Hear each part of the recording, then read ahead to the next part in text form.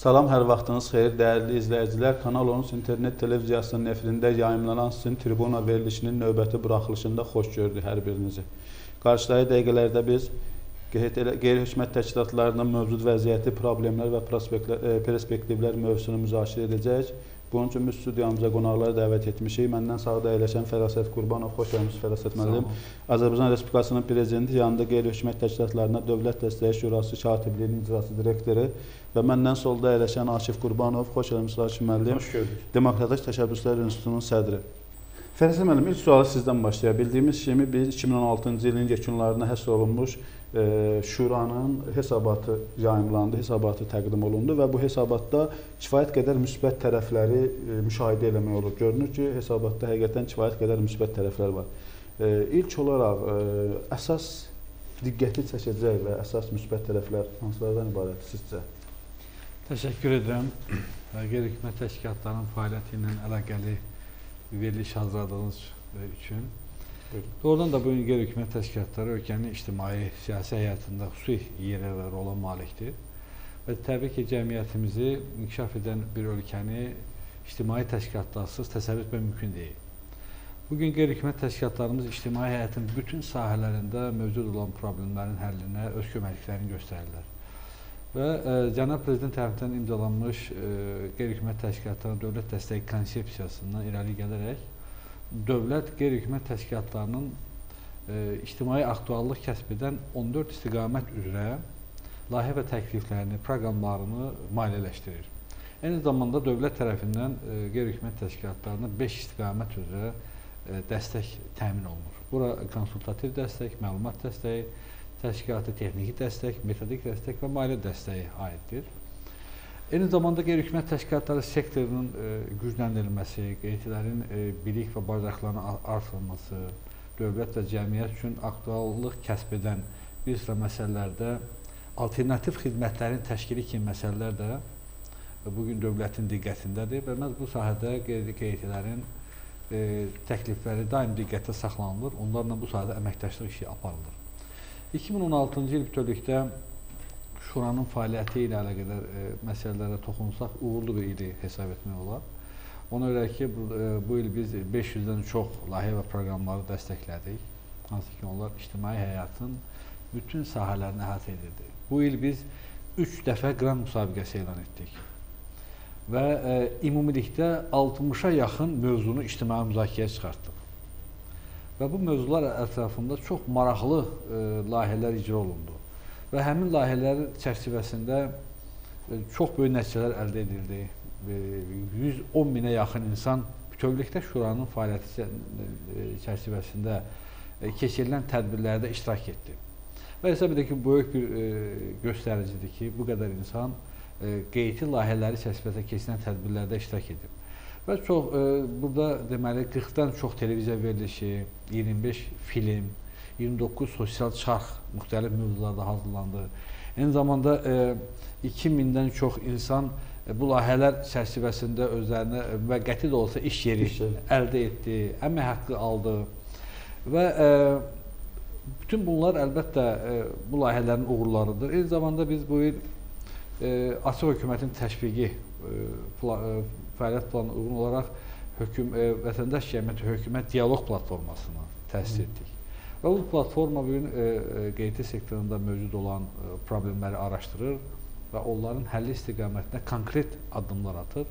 Və hesab edirik ki, bu da ilin ən e, mühüm hadisələrindən e, biri kimi e, qəbul etmək olar. Qeyri-hökumət təşkilatlarının beynəlxalq əlaqələrinin e, genişlənməsi də şuranın daim diqqətində olub. Ayrı-ayrı ölkələrdə keçirilən 30-dan çox e, tədbirlərdə bizim yerli qeydlərin iştirakı şura tərəfindən təmin olunub. Eyni zamanda e, Ermənistan-Azərbaycan Dağlıq Qarabağ münaqişəsi ilə bağlı onlarla xarici ölkədə müxtəlif mövzuda tədbirlər keçirilib, sərgilər təşkil olunub. Şuranın dəstəyi ilə hazırlanmış filmlər həmin ölkələrdə nümayiş etdirilib. E, daxili auditoriya hesablanmış layihələrdə isə bura dediyim kimi ictimai həyatın bütün sahələrini, insan hüquq və azadlıqlarının qorunması, demokratik e, məsələlərin inkişafı, sosial məsələlər, qaçqın və məcburi köçkünlərin problemlərinin həlli, Ermənistan-Azərbaycan Dağlıq Qarabağ münaqişəsi ilə bağlı məsələlər, iqtisadi məsələlər, gənclərlə bağlı məsələlər, ailə, qadın, uşaq məsələləri, vətənpərvərlik mövzusunda olan məsələlər, eyni zamanda e, 2016-cı il multikulturalizm ili elan olunduğu üçün e, bu sahədə e, e, layihələr də şura tərəfindən maliyyələşdirilib. Həmçinin istehlakçıların hüquqlarının qorunması, açıq hökumətin təşviqi, mədən sahəsində şəffaflıq məsələləri kimi aktual məsələlər 2016-cı ildə şuranın e, gündəmində olub, diqqətində olan məsələlər olub ki, artıq e, şura katibliyi həmin layihələrlə bağlı e, qeyri-hökumət təşkilatlarına hesabatları qəbul edib. Hazırda hesabatlar analiz olunur və hesabatlar çərçivəsində hazırlanmış təkliflər aidiyyəti üzrə müvafiq qurumlara göndərilməsi işi təşkil olunur. Dövrdə şuranın fəaliyyətini biz e, müzakirə etsək, bu çox geniş bir e, miqyasda olan bir tədbirdir. Mən onu yalnız ə, e, əsas ümumiləşdirilmiş formada əsas ümumiləşdirilmiş ə, e, formada izah etdim və e, təbii ki, bununla bağlı əlavə suallar olarsa məmnuniyyətlə. Təşəkkür edirəm Fərəsəl müəllim. Akif müəllim, siz şuranın yəni yaydığı hesabatla müəyyən məqamlarda razı olmadığınız haqqında mətbuatda yazılar dərc olunub. Hansı məqamlar sizi narahat edir və hansı məqamlarla razı deyilsiniz? Əslində mən şuranın yaydığı hesabata münasibətdə ə, tənqidlərimi və fərqli fikirlərimi ə, səsləndirmirəm. Şuranın ümumiyyətlə fəaliyyətinə münasibətdə tənqidi fikirlərimi səsləndirmişəm və ümumiyyətlə QET-lerin fəaliyyətinə münasibətdə. Təbii ki, yəni ə, Fərasət müəllim də qeyd etdiyi kimi ə, Şura qrant layihəsini elan edir, ə, müsabiqə təşkil olunur, layihələr icra olunur və sonra hesabatlı olur. Bunlar prosedur qaydalardır və bu prosedur qaydalarına görə şuranın fəaliyyətinə hər hansı bir e, iddiam və ya fikrim yoxdur.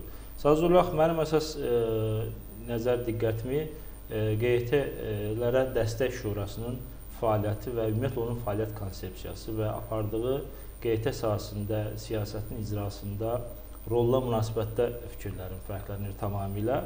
E, mən hesab edirəm ki, əslində e, ümumiyyətlə Azərbaycanda QET-lərin problemləri QET-lər dəstək şurasının yaranmasından etibarən daha da üzə çıxmağa başladı. Necə ki, ondan əvvəl e, kütləvi informasiya vasitələrinin dəstək şurası yaradıldı, dövlət dəstək şurası və artıq medianın problemləri üzə çıxmağa başladı və media orqanları artıq Üzrsən burada biraz e, fikrimizi dəqiqləşdirək.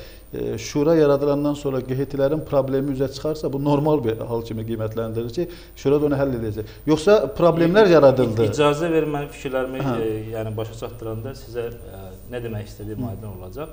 Yəni əslində, e, yəni nümunə olaraq ifadə etdim ki, KİV dəstək e, şurası yaradıldı və artıq müstəqil media sıradan çıxarılmağa başladı. Eyni qaydada da e, qeyri-hökumət təşkilatlarına Dövlət Dəstəyi Şurası yaradıldı və artıq qeydilərə münasibətdə bizim və sizin münasibəti formalaşmağa başladı. Burada söhbət yəni e, əslində e, nəticə etibarilə qeyri-hökumət təşkilatlarının Dövlət Dəstəyi Şurası prezidentin yanında e, funksiyasını icra etməyə başla başlamaqla ictimai rəydə belə bir fikir formalaşdırdı ki, onlar onların fəaliyyəti, bu strukturun fəaliyyəti qeydiləri Dövlət Dəstəyi Şurası yox, əslində QET-lərin prezidentə və onun hakimiyyətinə dəstəyini təmin etmə şurası funksiyasını icra edir. Hı -hı. Ə, səbəb nədən ibarətdir? Səbəb ondan ibarətdir ki, əvvəla ə, mən ə, məsələlərə münasibətdə faktlara yönəlik söyləmək istəyirəm. Ə, ilk növbədə mən ə, onu vurğulamaq istəyirəm ki, mən heç zaman qeyri-hökumət dəstək, ə, ə, dəstək şurasının elan etdiyi qrant layihələrində iştirak etməmişəm. Çünki bu iştirak etmək imkanım ilk növbədə mənim təmsil etdiyim Demokratik Təşəbbüslər İnstitutunun dövlət qeydiyyatına alınmaması nəticəsindən doğub. Buna dair mənim hər hansı bir iddiam yoxdur. Amma nəticələrə baxdıqda istər elan dövründən sonrakı nəticələr, istər apellyasiya şikayətlərin araşdırması dövründən sonrakı nəticələrdə biz çox aydın görə bilirik ki, xüsusi olaraq da son illərdə formalaşmış nəticələr çox aydın görə bilər ki, hökuməti açıq tənqid edən, fəaliyyəti ilə hökumətin qüsurlarını istər korrupsiya sahəsində, istər demokratiya sahəsində, istər islahatlar sahəsində, istər məhkəmə sahəsində fəaliyyətlərini açıq tənqid edən qeyri-hökumət təşkilatları, eyni zamanda qeyri e, dəstək şurasının özünün fəaliyyətini tənqid edən qeyri-hökumət təşkilatlarının heç birini biz o müsabiqələrin nəticəsində qalib görə bilmirik. Hətta e, vurğulamaq okay. istərdim ki, e, monitorinq e, yayımların monitorinq ictimai birliyi misal olaraq çəkmək, çəkmək istəyirəm. Yayın, yayımların monitorinq ictimai birliyi əvvəllər qeyri-hökumət təşkilatı dəstək şurasından e, layihə almışdır. Amma sonrakı mədən sənayesində şəffaflıq fəaliyyətində fəaliyyəti Hətta apellyasiya şikayətinin udmasına baxmayaraq nəticədə həmin e, təşkilatın layihəsini icra etməsinə imkan yaradılmamışdır. Yəni bu faktlardan biri. Digər faktları sadalamaq istərdim. Əslində QT-lərə E, dəst... bir üzr istəyirəm, bir şey deyək də. Axı bu fakt deyil və doğru deyil. Siz İcazə verin, mən fikirlərimi tamamlayım, Bu Fərəsət. fakt kimi deyil, fakt deyil axı. E, cavab vermək hüququnuz yaranacaq təbii ki. Siz fikrinizi yekunlaşdırın. Yəni mən ə, dəqiq bildiyim ə, məlumatlara istinad yayıram. Və yaxud da başqa bir fakt. Yəni fərasət mənə fakt istəyirsə, qeydiləri bilirsiniz 2014-2015-ci il çox ağır durum olmuşdur və konkret bir neçə vətəndaş cəmiyyətliləri cinayət məsuliyyətinə cəlb olunmuşdur və hətta onlardan bir çoxu həbs həyatına Yaşamaq- biz növbəti suallarda bu məsələyə burada, toxunacağıq. burada bu faktlardan biri nədən ibarət? Burada qeyri-hökumət təşkilatının Dövlət Dəstəyi Şurası öz əsasnaməsinin tələbi e, e, fəaliyyətində olmadığı halda, eyni zamanda konkret qeydilərin maraqlarına ziyan vurduğu halda e, prokurorluğun yaratdığı e, mütəxəssislərdən ibarət ekspert komissiyasının təmsil olunmaqla e, qeyri-hökumət təşkilatlarına dəstək olmalı şura, əksinə qeyri-hökumət təşkilatlarının maraqlarının əleyhinə və onun səlahiyyətləri çərçivəsində olmadığı halda və ə, prokurorluğun qaldırdığı və sonra da məhkəmə dövründə konkret sübuta yetirə bilmədiyi məlum olan qondarma cinayət işlərində öz mütəxəssisləri ilə şuura rəy verməklə əksində həmin şəxslərin qeyri-qanuni və haqsız yerə məhkum olunmasında bir rol almış olur. Təşəkkür edirəm Hakim yəni, müəllim. bu bu fakt deyilmi? Fərzən müəllim, üzr istəyirəm. Bu e, qrantların şeydir. verilməsi ilə bağlı da də siz aydınlıq gətirin və təbii ki, Mən bir şey deyim də, e, aydındır, eşitdim hamısını. Hə. Belə gözəl danışmaq olar, e, amma bu gözəl danışığın arxasında faktlar dayanmalıdır. Belə deyək də, birinci, burada Dövlət Dəstəyi Şurasının adını e, Prezidentə Dəstək Şurası adlandırır. Okey. Gəlin biz maliyyələşən layihələri bir-bir oxuyaq və orada görək ki, doğrudan da bu qeydilərə, ictimaiyyətə dəstək xarakterli məsələ, yoxsa prezidentə dəstək xarakterli məsələlərdir. Əgər hansısa bir müharibə əlilini, ağlını, e, istirahəti təmin olunursa, bunu prezidentə dəstək yoxsa xalqa dəstək. Xalqa. Okey.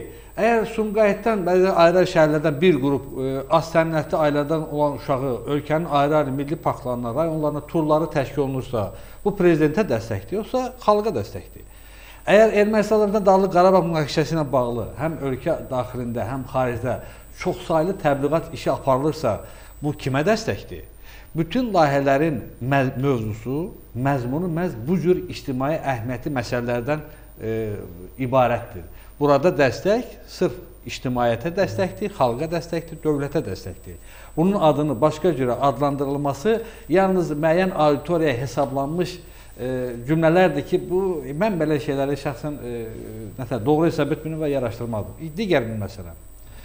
Şuranın e, e, deyək ki, dövləti tənqid edən həm kimlərsə göç şuradan qrant ala bilmir. Əzizim, tamamilə absurd bir şeydir. Axı biz e, maliyyələşdirdiyimiz təşkilatların siyasətini dərc edirik. Orada nə qədər e, Akifman dediyi kimi e, qeydlər var. Onlar hətta Azərbaycanla Azərbaycanı e, beynəlxalq məhkəmələrə də veriblər.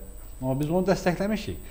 Bu dəstəkləməkdə Mən fikrinizi biraz da inkişaf elətdirmək üçün bir sual vereyim. E, Bu qalib e, QHT-lər ki, orada e, qrantlar udurlar, əsas hansı kriteriyalar götürülür? Okey. Deməli kriteriya e, götür ilk növbədə şuranın qiymətləndirmə e, proseduru var. Yəni e, layihələr ekspertizadan keçirilir. Layihələr e, ən azı 2 ekspert tərəfindən qiymətləndirilir. Onlardan biri e, müvafiq sahə üzrə müstəqil ekspert, biri isə dövlət qurumunu təmsil edən ekspert, eyni zamanda beynəlxalq təşkilatlarda çalışan ekspertlər olur. Ekspertizadan sonra bu şurada müzakirə olunur. Onun təbii, e, təbii ki, ictimai aktuallığı, qeytinin müsadə təcrübəsi, onun cəmiyyətə verə biləcəyi fayda və həyata keçirilməsinin mümkünlüyü hər bir şey ölçülür və e, müvafiq qərarlar qəbul olunur. Şuranın qərarlarına narazı olan şəxslər apellyasiya şikayət edə bilərlər. Biz apellyasiya şikayətini nə xəlvət baxmırıq, nə üstü örtülü baxmırıq. Jurnalistlərin iştirakı ilə açıq şəkildə baxırıq. Biz Akif müəllimi bax bu gözəl nitqinin şurada söylənməsini istərik. Biz onu dəvət edirik şuraya. Yığaq ekspertlərimizi, şura üzvlərimizi. Gəl o çıxışı orada edək. Yəni şuranın fəaliyyətinə yaxından tanış olmaq üçün Əlbəttə, gəl sənin şuraya ekskursiya təşkil edək.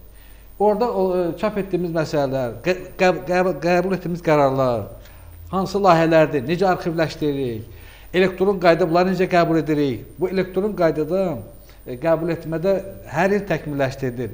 Bilərəkdən orada elə bir model tətbiq olunur ki, heç kəsin bu prosesə müdaxiləsi mümkün olmasın. Yəni kompüter bunu elə proqramlaşdırılıb ki, heç bir mən icraçı direktor olaraq həmin proqrama heç bir müdaxiləm yoxdur. Bunu elə tərtib etmişik ki, bizdən kim şikayət edirsə, artıq həm şura, həm rəhbərlik bilir ki, burada proqrama müdaxilə proseduru nədən ibarətdir və bu şəxslərin buna müdaxiləsi var yoxsa yox. Digər bir məsələ. Biz qeytilərlə bağlı, daha doğrusu biz deyəndə şura qeytilərlə bağlı qərar qəbul edərkən heç də onun deyək ki, e, mənsubiyyətinə, hansısa düşərgəyə xidmət etməsinə, e, deyək ki, e, cəmiyyətdə mövqeyinə e, xüsusi diqqət yetirmir. Burada əsas odur ki, onun təqdim etdiyi layihə aktual olsun, ictimai faydalı olsun və mütləq şəkildə o dəstəklənir. Belə deyək də, indi biz onu demək istəmirdik, bir dəfə də başqa bir tədbirlərdə səsləndirdik, bunu bir irad tutdular. Müxalif yönümlü belə deyək. QHT-lər bizdə nə qədər qrantlar alıblar? Əgər bunları e, doğrudan da artıq siyasiləşiblərsə, biz istəməzdik QHT-lər siyasiləşsin. Bu QHT fəlsəfəsində QHT qanuna zidd olan bir məsələdir. Amma biz istəsək də, istəməsək də QHT-lər müəyyən düşərgələrə bölünüblər. Siz mənim sözünüzü kəsmək kim olmuyor. Son illərdə onun təcrübəsi misal olaraq göstərə bilərsiniz hansı müxalif yönümlü QHT-lər? Bizim müxalifət yönümlü saydığımız qeydini siz müxalifət yönümlü saymırsınızsa, o sizin öz işinizdir. Məsələn, deyək ki, e, e, misal qeyd Hafiz Həsənov bunun yönümünü müəyyənləşdirir. Müxalifət müxalifət deyil. Mirəli Hüseynov, nə bilim, e, təəssüf ki, mən siyahını götürmədim. E, Novella Cəfəroğlu, deyək ki, Səidə Qocamanlı, kimlər kimlər. Bunlar hamısı vaxtilə e, müxalifətdə olmuş şəxslərdir. Bu gün də demokratik mövqeyi ilə tanınmış e, şəxslərdir. E, bu belə. İkincisi də ki, sizin e, üzr istəyirəm Akif sizin təşkilat nə vaxt təsis olunub? 2013-cü ildə. Okay. Ta ki mənim elə danışığına bilindi ki, onun qeyri işindəki təcrübəsi yeni başlayıb. Biz 1995-ci ildən qeytin içindəyik. Biz bilirik qeyti nədir, qeyti fəlsəfəsi nədir, qeyti necə təsis olunur, necə hərəkət, onun işi nədən ibarətdir, cəmiyyətə faydası nədən ibarətdir. Bu çətin yolu keçmək lazım. Akif müəllim 2000-ci ildə Azərbaycanda olan 50-dən çox donorları görməyib. Yəni burada Aysar vardı, Merskov vardı, Ayrix təşkilatı vardı, Save the Children var. Kimlər, kimlər yox idi. Amma həmin təşkilatların heç biri heç vaxt apellyasiya imkanı yaratmırdı heç kimə. Pul mənimdir, vermirəm və salam. Amma biz şura isə e, Şuranın vəsaiti dövlət büdcəsindən formalaşmış vəsaitdir. Bu hamımızın vergisindən toplanmış bir vəsaitdir. Biz özümüzü borclu bilirik ki, qərar qəbul e, daha doğrusu maliyyələşməyən layihələrlə bağlı qeyri-hökumət təşkilatlarına şans verək ki, onlar bunu öyrənməsi üçün bizə müraciətlər etsinlər. Digər bir məsələ. Akiməm söylədi ki, ayrı-ayrı qeydlərin deməli prokurorluqda araşdırması şura iştirak edir. Yanlış bir söhbətdir. Əgər prokurorluq şuraya müraciət edirsə, hansısa bir qeydinin şura ilə əməkdaşlığı çərçivəsində həyata keçirdiyi layihə haqqında arayış istəyirsə, biz bunu verməməliyik. Anar Məmmədlinin e, İntiqam Əliyevin işində siz nə hansı əsasla iştirak edirsiniz? Sizinlə hansı layihə? Bir nətərdir? Əvvəla bir, bir söz deyim. Prokuror sizi prokurorluq dəstəkləyə əgər əgər İntiqam müəllimlə bağlı bizə arayış gəlibsə biz yazırıq. İntiqam müəllimlə bizim heç bir layihəsi maliyyələşdirilmir. Biz bizə müraciət də eləmir. Və sonra bir cümlə. Sizin nümayəndənin məhkəmədə ifadəsinin şəxsən özüm məhkəmədə iştirakçı kimi şahid olmuşam. İstər Anar Məmməd. Biz nətərdir? Əvvəla siz Rəsul Cəfərovun işində istər siz nə Anar müəllimin vəkili deyilsiniz, nə də intiqam müəllimi. Şahid olduğum fikri ifadə edirəm. Siz çox yanlış müşahidə aparmısınız. Mən sizə deyirəm mən sizə deyirəm. Bizim əməkdaşımız məhkəməyə dəvət olunubsa, verdiyi arayışa görə dəvət olunub. Arayışda da yazılır İntiqam müəllim şuraya heç vaxt qrant üçün müraciət etməyib və o şura ona heç vaxt qrant verməyib. Vəssalam. Eyni zamanda Anar Məmmədli. İkincisi ki, biz Anar Məmmədli ilə bağlı ya da İntiqam müəllimlə bağlı məhkəmədə hər hansı bir ifadəmiz olmayıb. Axı biz verdiyimiz arayışa görə biz dəvət arayışda yazılıb ki, bəli, filan təşkilat şura ilə filan vaxtı müraciət edib, onun filan nömrəli, filan e, mövzuda layihəsi maliyyələşib və layihələr nəticəsində aşağıdakı nəticələr əldə olunub. Əlavə sənədləri də diqqətsə təqdim edə bilərik. Bu bəyəm araşdırmadır. Fəzə mən yeri gəlmişkən bununla mən istəyirəm. Biz yox, mən mən üstə bunu üstə biraz da deyəm. Bu fikir gələcəkdə bu qədər inkişaf etməsin deyə mən xahiş edərdim. Biz nə gedib intiqam müəllimindən Anar müəllimin ofisində araşdırma aparmamışıq, nə onların sənədlərini araşdırmamışıq, nə də onun fəaliyyəti ilə bağlı heç bir araşdırma aparmamışıq. Əgər bizdən prokurorluq hansısa bir qeytinin şura ilə əlaqəli fəaliyyəti haqqında arayış tələb etsə, biz qanun müvafiq olaraq vermişik. Bu da bizim vəzifə borcumuzdur. Qurum olaraq bizim səlahiyyətimiz çərçivəsində olan bir məsələdir. Amma biz kiməsə rəy verək, neqativ və ya pozitiv formada belə şey heç vaxt olmayıb. Heç bizdən tələb də olunmayıb. Təşəkkür edirəm. Rəza müəllim, e, qeydiyyat məsələsindən söz düşmüşsən. Mən o məsələni sizə soruşdum. Biz e, bilirik ki və qanunvericilikdə e, şura və yaxud da qeyri-rəsmi təşkilatı forum e, qeydiyyatların qeydiyyatdan keçməsinə heç bir dəxli yoxdur bunların. Sadəcə ən uzağı e, dəstək məktubu bəli, göndərə bəli, bilərlər. Bəli. Ümumiyyətlə, amma bəzi hallarda bəzi iddialar səsləndirilir və for, həm şuranı, həm forumu bəzən ittihamlar olunur qeydiyyat məsələsinə. Ümumiyyətlə sualı belə qoyaq da, şuranın qeydiyyat məsələsində nə kimi rolu var? Mən bir şey deyim. Nə qədər ki qeytidə, qeyti işinə aid olmayan təsadüfi adamlar, savadsız adamlar bu işə qoşulursa, belə problemlər həmişə olacaq. E, birinci qeydiyyatla bağlı bizə müraciətlər olunur. Elə e, iki gün bundan qabaq bir qeyti... Hocam, qeyti ilə məşğul olmaq üçün hər hansı bir e, biraz anlaşılmaz Bizim necədir? Qeyri-hökumət təşkilatları. Yəni istənilən vətəndaş qeyti ilə məşğul ola bilməzmi? E, e, bilərə bax belə bazar yaranacaq. Hansı şəxslər qeyti ilə məşğul olmalı? Deməli deyək ki, e, bu vətəndaş vətəndaşın öz xalqına, öz millətinə sevgidən doğan bir fəaliyyətdir. Və deyək ki, e, bir e, ictimai fəal şəxs 3 nəfəri öz ətrafına toplayır ki, bax bu küçə, bu məhəllə bizimdir. Gəlin bunu tullantılardan, polietilen tullantılardan təmizləyək. Özü başlayır onları yığmağa, 2-3 nəfər də ona qoşulur. Bunu qeydiyyatssız da etmək mümkündür. Qeydiyyatdan keçmək mütləq deyil. Amma o gələcəkdə ümumiyyətlə bu prosesin daim nəzarətdə saxlanması, ictimailəşməsi, bunun nəsildən nəsilə ötürülməsi və gələcəkdə ə, e, bu prosesin hüquqi bir statusda formalaşması üçün öz tərəfdaşlarından ibarət bir qurum yaradır. Yəni gördünüz ki, bunun sevgisi sırf öz məhəlləsinə, öz küçəsinə, öz yaşadığı yerə olan məhəbbətindən doğdu. Və yaxud da götürək bir müəllim qrupunu. Müəllim, bir müəllim görür ki, mən müəlliməm, Amma elə ə, uşaqlar var ki, onların qabiliyyəti var. Məhz ailə şəraitinə görə, ailə başçısının biri olmadığına görə, ailədə hər iki başçının savadsız olduğu üçün bu uşaq dərsdə, evdə lazımi dərs ala bilmir və dərsə yaxşı gəlmir. Özünün boş vaxtını könüllü şəkildə o uşağı çağır yanına. Ona başlayır dərslərdə kömək eləməyə. Sonra digər həmkarların da öz ətrafına cəlb edir ki, bəlkə bir qurum yaradaq. Bax bu cür uşaqları ətrafımızda çəkək. Bunlara biz e, könüllü olaraq e, yardım edək. Bax bu e, müəllimin öz e, xalqına, öz millətinə olan hədsiz sevgisindən doğan bir şeydir. Elə adamlar birləşib qeyti yaradırlarsa, onun məqsədi də aydın olur, nizamnaməsi də aydın olur, rahat da qeydə alınır.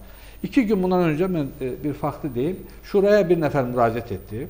Deyir ki, mən Ədliyyə Nazirinə e, müraciət eləmişəm qeydə alınmam üçün. 8 dəfə məni geri qaytardılar. Mənə nə kömək edə bilərsiniz? Dedim, Nizami Nəməniniz yanındadır bu. Olar bir baxımını görün, bu nə yazmısınız ki, sizə belə? Gördüm ki, bu adam e, hüquqşünassız deyir, yox. Bəs deyirəm, yazmısan ədalətin bərpa üçün hüquqi ekspertiz aparmaq. Siz e, ixtisasınız nədir? Mən Politexnik İnstitutu bitirmişəm. Hüquqdan anlayışınız var, dedi, yox. Bəs nədə yazmısan bura? Ədə bilirsiniz, mən onu internetdən götürdüm. Deməli, sadəcə olaraq bir qeyti bazarını görür kimsə, görür ki, burada qrant verirlər. Bu bazara girmək üçün mən bir qeyti yaratmalıyam. Hakimə ixtisasla hüquqşünaslıq. Mən hakimdən danışmıram, bir şey. Aha. Yox, misal üçün fakt kimi. Okay. Və həmin adam deyib ki, sizin ikinci təhsiliniz kimdir? Gəlinim. Burada hansı ictimai təşəbbüsdən söhbət gedir? Hansı vətəndaş sevgisindən söhbət gedir? Axı bunun fəlsəfəsində bu dayanmır.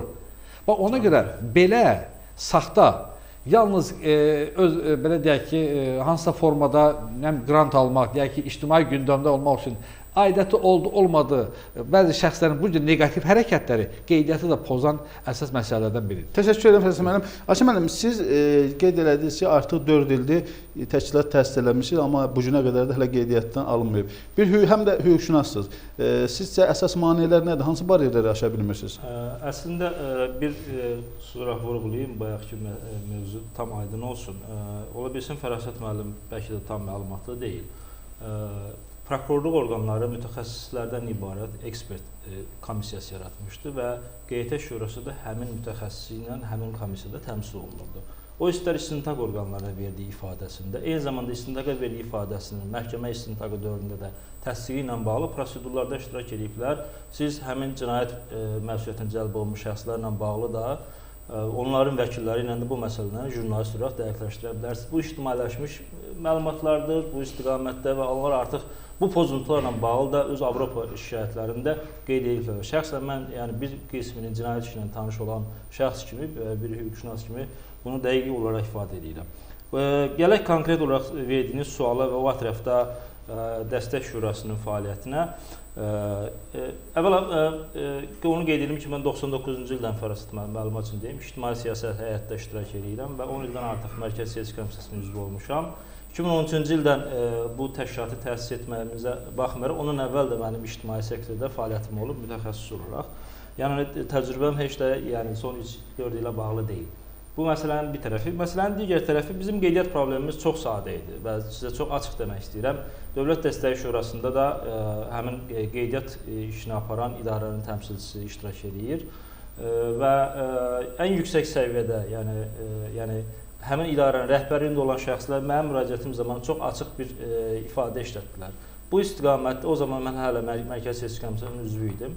E, yəni mən artıq gördüm ki, qeydiyyatda problemlər yaranır və çox e, sadəcə bizdən telefon açdım və dəqiqləşdirmək istədim ki, bunun səbəbi nə ilə bağlıdır, bir qeyri-rəsmi olaraq. Bu arada çox sadə bir sual verdilər ki, bu məsələ ilə bağlı sizin e, təmsil olduğunuz komissiyanın rəhbəri nə deyir? Onun rəyi nədən ibarətdir bu sizin bu sahədə fəaliyyətinizlə bağlı? Mən də açıq ifadə edirəm ki, rəy nədən ibarət ola bilər? O mənim hüququmdur, bu da mənim hüququmu başa düşür və buna dair mənə hər hansı bir göstəriş də verə bilməz. Yəni bilirsiniz nədir? Söhbət ondan ibarətdir ki, verilirdimi? Sıxılır, sıxıntı var idi? Əslində əlbəttə ki, qeyri-hökumət təşkilatlarının qeydiyyat problemi nədən e, bu günlərdə qüvvəsindədir? Yəni e, çox açıqca bölünür. Təşkilat hansı fəaliyyət istiqamətini seçirsə, yəni demokratiya sahəsində seçir, insan haqları sahəsini seçir, gənclər sahəsini seçir, qadınlar sahəsini seçir, yəni gender məsələləri ilə bağlı və yaxud da ki, yəni əlillər və ya digər e, fiziki məhdudiyyətli şəxslərlə bağlı fəaliyyət sahəsini seçir. Həmin sahəni kurasiya edən dövlət orqanlarından mütləq qaydada təminat məktubu istənilir. Bu qeyri-rəsmi olaraq.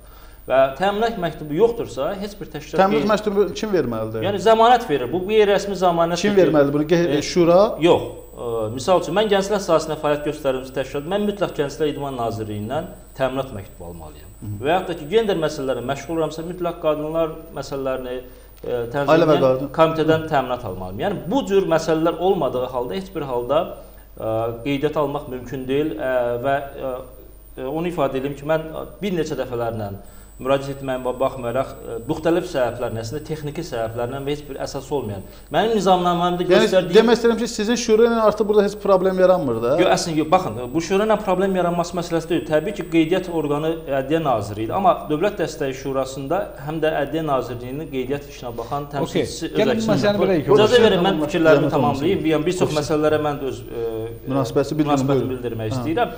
Yəni tənzimləyir və dəstək şurası bu məsələlərin həllində yardımçı olmalıdır. Bu prosesin həllində iştirak etməlidir. Amma təəssüflər olsun ki, niyə iştirak etmir? Yəni e, nəticə olaraq görünən odur ki, iştirakda iştirak yoxdur. Və yaxud da başqa bir formada. Mən həm də mədən sənayesində şəffaflıq artırması koalitsiyasının şurasının üzvüyəm e, və e, həm də bax həm qeydiyyat problemi ilə bağlı, həm də digər məsələlərlə bağlı Dövlət Dəstəyi Şurasının əslində niyə qeydiyyətlərə yox əslində siyasi hakimiyyətə dəstək göstərdiyinin mahiyyətini sizə ifadə etmək istəyirəm.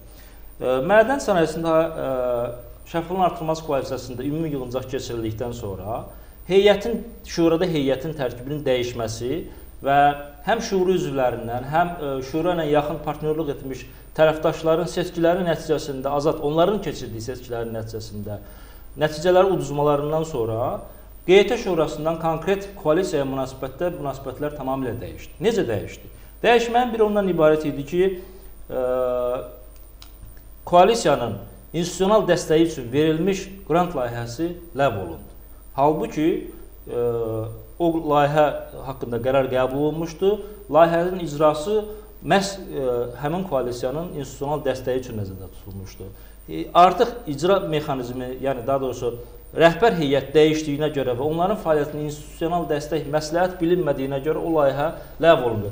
Təbii bununla bağlı Fərasət müəllimin də cavablandırdığı məktub var və orada ə, e, texniki səbəb göstərilir. O formal səbəbdir. Amma əslində mahiyyət etibarilə o fəaliyyət ləğv və yaxud da ə, e, yeni heyət dəyişdiyinə görə artıq bayaq qeyd etdi hesabatda ötən ildə mədən sənayesinə dair ə, e, layihələr elan olunmuşdu. Amma biz bu ilki elanda mədən sənayesinə dair layihələri görmədik. Çünki mədən sənayesinin şəffaflaşdırılması koalisiyasının rəhbər heyəti dəyişdiyinə görə və bu sahədə də ə, e, fəaliyyəti məhz o koalisiya tənzimlədiyinə görə və onun da təminatı əsasında bu proses icra olunduğuna görə bu fəaliyyət dayandırıldı, başqa istiqamətə yönəldi. Yəni bu əslində nədir? Bu qeyri dəstəkdirmi bu qeyri-hökumət təşkilatı? Yox. Yəni qeyd olunduğu kimi nəticə etibarilə gör, gör, görsənir ki, bu bizim tərəfdaşlardır, bizimlə yaxın işləyənlərdir. Bunlara dəstək vermək olar. Bizimlə deyilsə, e, situasiya burada dəyişirsə, açıq surətdə burada dəstək. Yəni bu faktlar söylədiklərim faktlardır. Yəni və siyasi nüans qaçılmazdır. Təbii ki, siyasi nüans qaçılmazdır və mənim deməkdə məqsədim ondan ibarət deyildi ki, Fərasət müəllim arqumentlərini söyləyir, hörmətlə yanaşıram. Yəni biz o mən onu demək istəmirdim ki, layihələr e, prezidentə dəstəyə yönəlib, e, vətəndaşa yönəlməyib. Yox, söhbət ondan gedir ki, siz tərəfdaşlarınızı seçəndə və ümumiyyətlə o kəsimlərlə işləməyə çalışırsınız ki, onlar məhz E, siyasi hakimiyyətin mövqeyini və yaxud da ki, Dövlət Dəstəyi Şurasının mövqeyini heç zaman açıq surətdə tənqid eləyə bilmirlər. Onlar yalnız sizlə partnyor olurlar. Yəni partnyorlarınız ancaq bu formada seçilsin. Və gəldik konkret birləşmək hüququna.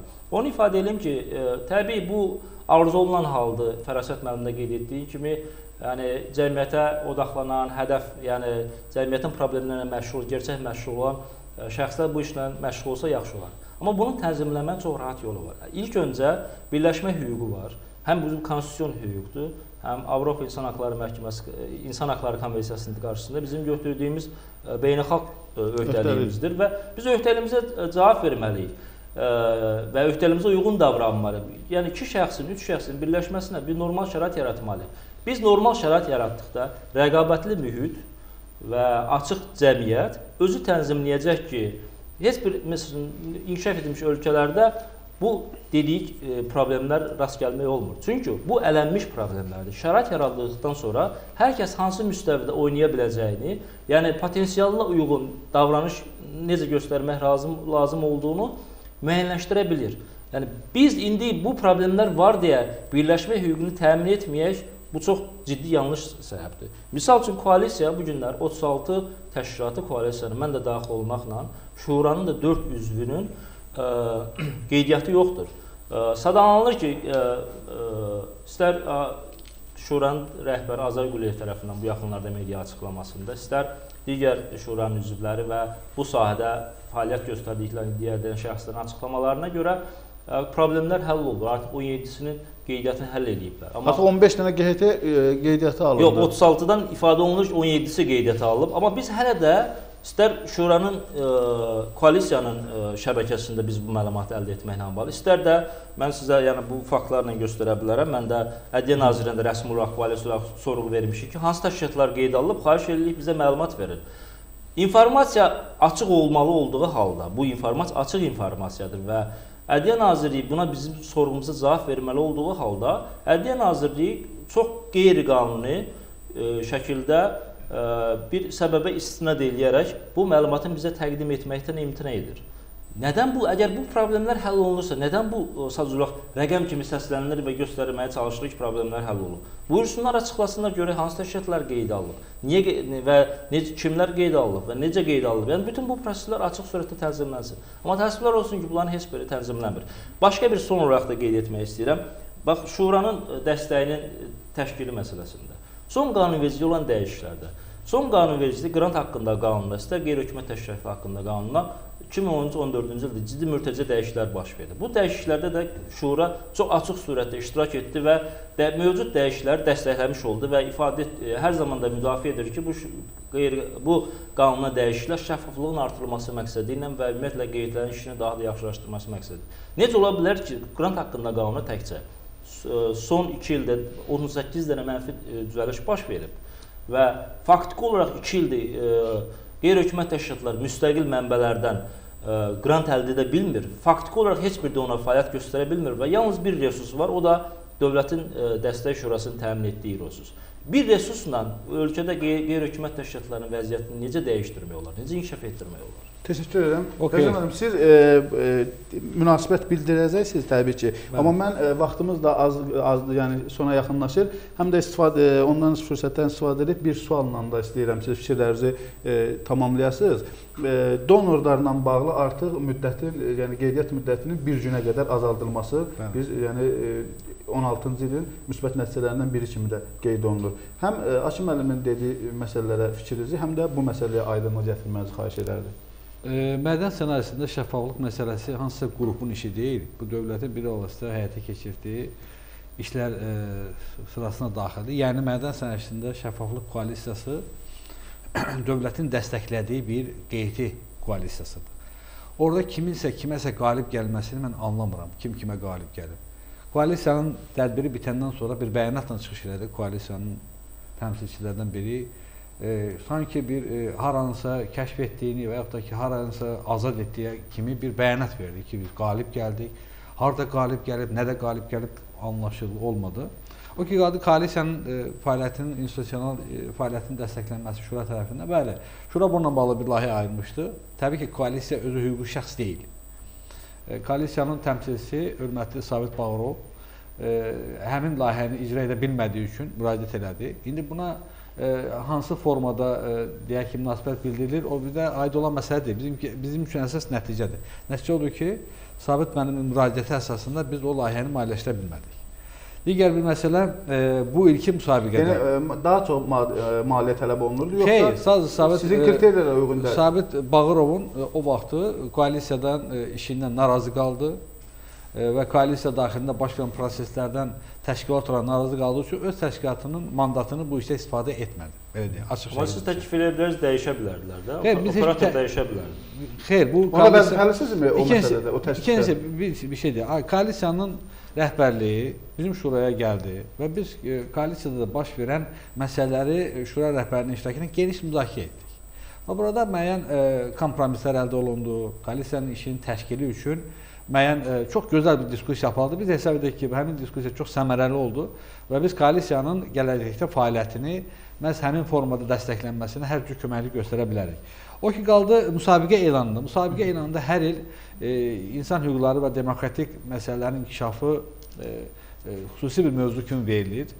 E, və şura bilirsiniz ki, hər il bir neçə e, müsabiqələr keçirir və həmin e, deməli mövzu ə, ətrafında mədən sənəsi şəffaflıq məsələləri də e, mövzusunda layihələr təqdim oluna bilər. Və şura ə, bu layihələri həmişə ə, diqqətdə saxlayıb və bu yöndə onlarla layihə hər il maliyyələşdirir. O ki qaldı sizin sualınızın digər bir hissəsi. Akif müəllim ə, təbii ki, söylədiyi bəzi fikirlər bilməm, onun öz şəxsi fikirləridir. Təbii ki, indi onun onun fikridir. Amma yenə mən bir məsələ toxunmaq istəyirəm ki, şuranın hansısa bir araşdırmada ə, rolu, vəzifəsi haqqında mən artıq dedim. Bu yalnız ə, ə, müvafiq arayışların təqdim olunmasıdır ki, indi onun adına işçi qrup qoyurlar, yoxlama qrup qoyurlar, amma hər halda bizim vəzifəmiz bizdən soruşulan məsələ ilə bağlı müvafiq arayışların təqdim olunmasıdır ki, həmin arayışlar da ə, ə, müvafiq qaydada dövlət qurumuna təqdim olunur. Qeydiyyatla bağlı məsələnin Mən müəllimə bir e, təklif etmək istərdim ki, e, deməli Açıq Hökumət e, Şuranın nəzdində e, hüquq və monitorinq komitəsi yaradılıb. Müəllim öz qeydiyyat problemi ilə əlaqədar həmin komitəyə müraciət edə bilər. Hüquq və monitorinq komitəsi məsələni araşdırıb Akif müəllimə lazımi köməkləri göstərə bilər.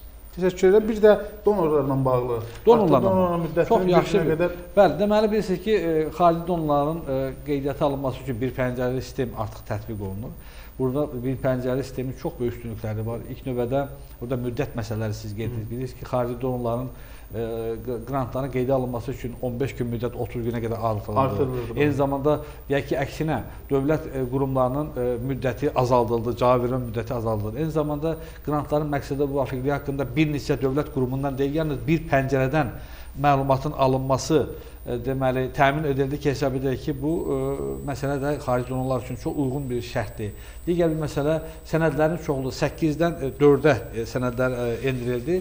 E, bir məsələ də təkcə xarici donorlar deyil, onların resipiyentləri də qrantların qeydəsinə qeydə alınmasını iştirak edə bilər ki, bütün bunlar xarici donorların e, işləməsi üçün müvafiq şəraitin yaradılmasına xidmət edir. Təşəkkür edirəm Fəriz bəy. Haşim müəllim, e, siz bu barədə donorlar məsələsi ilə bağlı hər hansı bir iradlarınız e, mənə rast gəldi? Əslində təbii edirəm vaxtımız ə, anlayıram sizi. Ə, onu çox aydın qeyd etmək istəyirəm ki, qeyd etdiyim kimi qrant haqqında qanuna son 18 mürt ə, yəni məhdudlaşdırıcı düzəlişlərin mövcud olduğu halda nə Nazirlər Kabinetinin qərarının, nə prezidentin fərmanının konstitusiyaya görə hüquqi qüvvəsi qanundan üstün deyil. Qanunda bu məhdudlaşdırıcı norma mövcud olduğu halda qaydalarda dəyişiklik heç bir halda problemi çözə bilməz. Bu məsələnin birinci tərəfi. İkinci tərəfi, qaydalarda edilən dəyişikliklər əslində texniki e, məsələlər aradan qaldırıb. Yəni sənədlərin sürətinin azaldılması, əslində nazirlik onu istəməməlidir. O məlumat bazasında o nazirliyin həmin məlumatlar var idi. Və yaxud da ki, qeyd olunur ki, güya bir günə məsələlər həll olub. Bu çox yanlış informasiyadır ictimaiyyəti əslində ciddi surətdə bu spekulyasiyadır, ictimai rəyi çaşdırmaq məqsədi ilə ifadə olunur. Heç bir halda bir günə baxıla bilməz. Nazirlik e, Ədliyyə Nazirliyi qrant müraciət edilmiş qrant ə, müqaviləsinə 15 gün müddətində araşdırır. Daxil olduqdan sonra o ə, məqsədə müvafiqlik rəyinin verilməsi üçün Maliyyə Nazirliyinə göndərir. Maliyyə Nazirliyi 7 gün ərzində baxır. Əgər ehtiyac duyarsa 7 gündə əlavə uzada bilir. Ondan sonra yenidən Ədliyyə Nazirliyinə qaytarır həmin sənədi. Bu zaman yenidən Ədliyyə Nazirinin vaxtı yenidən davam etdirilir. Maliyyə Naziri baxdığı müddətdə vaxt saxlanılır.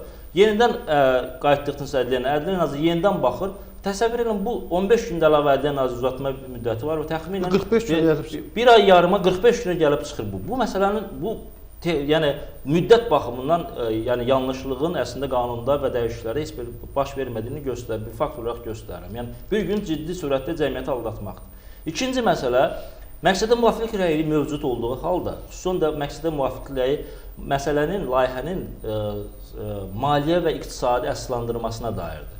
Belə çıxır ki, insan haqlarına dair, xüsusən də əslində o qaydalarda o əksini tapıb, ə, Maliyyə Nazirliyi insan haqlarına, demokratiya məsələlərinə dair layihənin məqsədə müvafiqliyini, iqtisadi maliyyə əsaslarını necə əsaslandıra biləcək? E, yəni o sahələrə aid e, yəni o rəy verməyəcək. O yalnız sosial-iqtisadi mövzularda olan layihələr rəy verəcək və bu da imkan verir ki, inzibati orqana, yəni müraciət edən e, təşkilata, istər resipiyentə, istər donorun e, fəaliyyəti hökumətin maraqlarına uyğundursa, çünki Maliyyə Naziri hökumət deməkdir. Ona müvafiq qaydada rəy verəcək. Uyğun gəlməyənə rəy verməyəcək. Və yaxud da qrantın resipiyent tərəfindən və ya donor tərəfindən iqtisadi əsaslandırması olmalıdır. Yəni qrantı alan tərəf iqtisadi əsaslandırmasını böyük miqdarda yazmalıdır və göndərir. Bu necə baş verə bilər? Yəni bu dünyanın heç bir yerində bu təcrübə yoxdur. Fiziki olaraq mümkün deyil. Yəni fiziki olaraq çətinliklər yaradır. Üstəgəl də mahiyyət etibarilə bu QT-lərin fəaliyyətinə heç bir halda imkan vermir. Yəni azad fəaliyyətinə heç bir halda imkan vermir. Yenə inzibati orqanlardan asılılığa yaradır və çünki inzibati orqan siyasi olaraq rəy vermə e, funksiyası onun, onun əlindədirsə, o istədiyi halda istədiyi tərəfə rəy verəcək, istəmədiyi tərəfə də rəy verməyəcək. Bununla da yəni normal müstəqil fəaliyyəti göstərmək mümkün deyil. Təsəvvür edin, bax Dövlət Dəstək Şurasının iştirakı ilə son olaraq o fikri bitirmək istəyirəm. Avropa Birliyinin maliyyələşdirdiyi e, QT-lərin dialoq layihəsi var, Avropa Şurasının icra etdiyi və beynəlxalq təcrübəni bölüşmək üçün İsveçə nümayəndə heyəti gedib həm hökumət tərəfindən, həm qeyri-hökumət təşkilatları tərəfindən. Və orada bir sual veriblər, sizdə qrantların qeydiyyatı necə aparılır? Hansı gün olur, hansı müddət olur, hansı orqan həyata keçirilir? Onlar sualı başa düşməkdə xeyli çətinlik çəkiblər. Sonra izah etməyə çalışıblar ki, qrantın qeydiyyatı nə deməkdir? Ümumiyyətlə niyə qeydiyyat alınmalıdır? Yəni bu bu nəyə əsasında olmalı? Belə bir şey axı olmamalı. Bu çox absurd bir şeydir. Yəni, Təşəkkür edirəm. Bu nəticə özü göstərir ki, yəni bu cür fəaliyyətlə heç bir e, irəliləyişdən söhbət gedə Təşəkkür edirəm Hakim müəllim. Dəyərli izləyicilər, bizim vaxtımız sona çatdı. Biz qeyri-hökumət təşkilatlarının e, mövcud durumu, e, problemləri və perspektivlərini müzakirə etdik. Qonaqlarımız isə Fərasət Qurbanov və Aşif Qurbanov. Çox sağ olun, Dəvət. Təşəkkür edirəm.